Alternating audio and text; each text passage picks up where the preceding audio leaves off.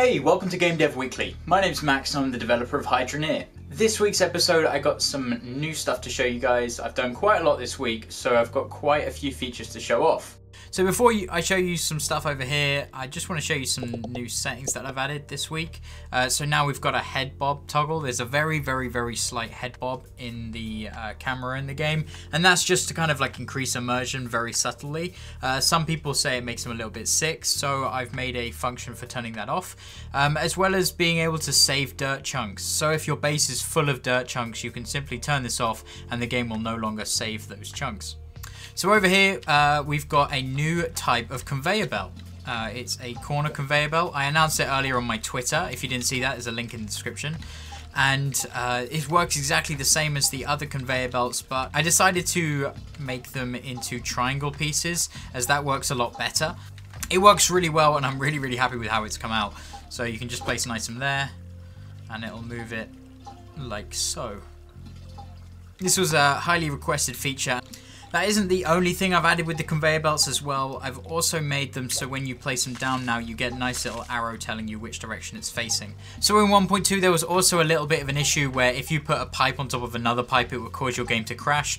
So I addressed that while I was creating these new conveyor belts as well. We've also got quite a few new sounds in the game as well, so it gives a bit of variation to items, uh, especially build items as well, these the ones that you can actually build with. Um, you can see here there's a new sound for dropping a metal part instead of having that thunking noise.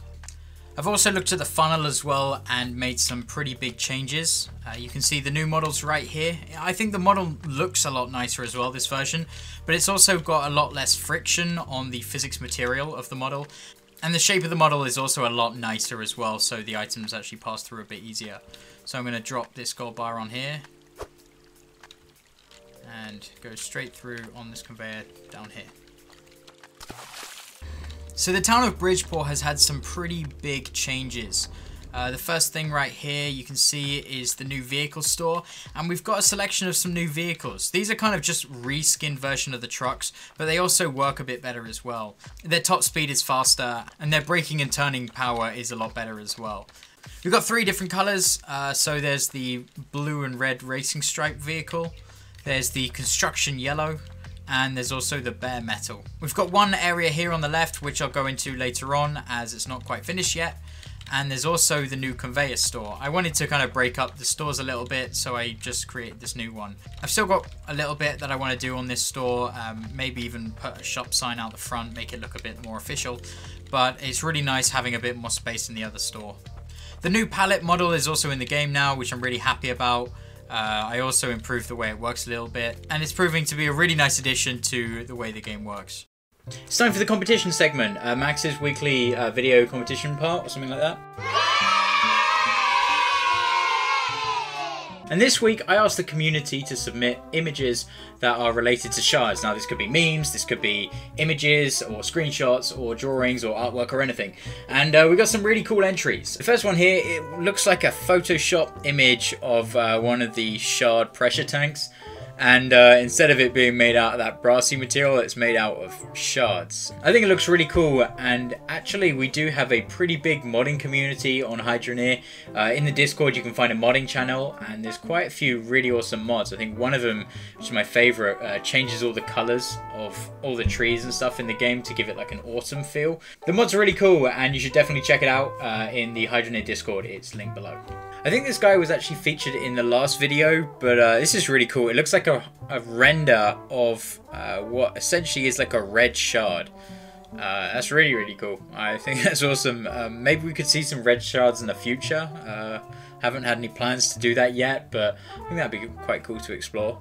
This next week's competition theme is going to be based around what item would you add into the game? What I'd see in this one, it would be some drawings or some diagrams of some really cool items that you would like to see added into Hydroneer. And maybe, if they're cool enough, I might actually add them into the game. So again, to submit any of these entries, head to the Discord and there's a little competition section and you can put your entry in there. And please remember, it is one entry per person. The final item I'm going to show off in this week's video is the new smelter. Now this is just a combination of the furnace, the mold and the crucible, but also what's really nice about it is because it's a buildable item, it snaps to the center of the grid. So when you're using the funnel, it makes it even easier. Another cool thing about it is the pot is hot immediately. So whenever I put in a chunk, it immediately smelts it. Now this isn't completely finished yet, there's a few visual things that I want to uh, change about this, but for the most part the functionality is all there. Uh, so if you just click it, then it produces the bar. I can also just repeat this process as well by chucking in the bar again. The size of this crucible is exactly the same as the other crucible. The reason I did that is because it had to fit into one grid block.